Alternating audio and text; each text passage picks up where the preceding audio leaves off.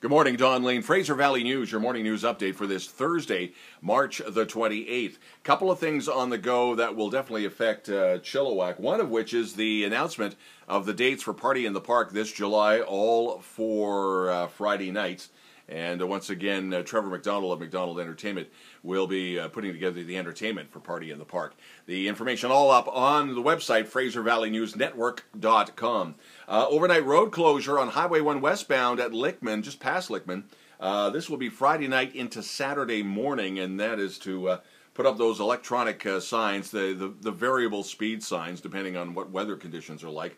You're going to see a lot of them uh, being put up between Chilliwack and Abbotsford on Highway 1. You've probably noticed some of the construction already. So all that is up on FVN. A Bridge to Better Living, they've opened up their second store in Wellington downtown. We've got a viral tour, and if you're into antiques, in particular antique furniture or collectible furniture, uh, it's actually quite cool you might want to uh, check that out.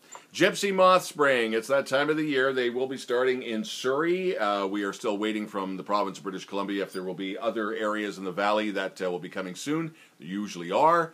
Uh, we'll uh, keep you up to date on that. The TEDx Chilliwack speakers, they have been announced, and uh, Karen Bondar will be one of those speakers as well as the Right Honorable Stephen Point. If there's something we should know about, whether it's Abbotsford, Chilliwack, Hope, Agassiz, Mission, let us know.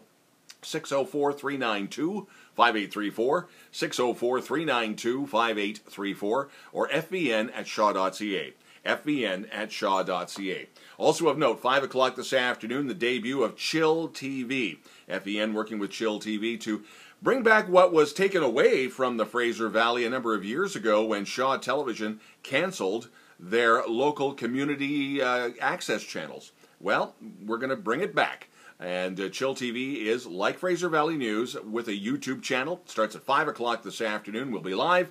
Check us out. And that is chilltv.ca or just go to YouTube and the Chill TV site as well as Fraser Valley News. And uh, we'll be reposting on FVN as well. Have yourself a great day. Don Lehn, Fraser Valley News.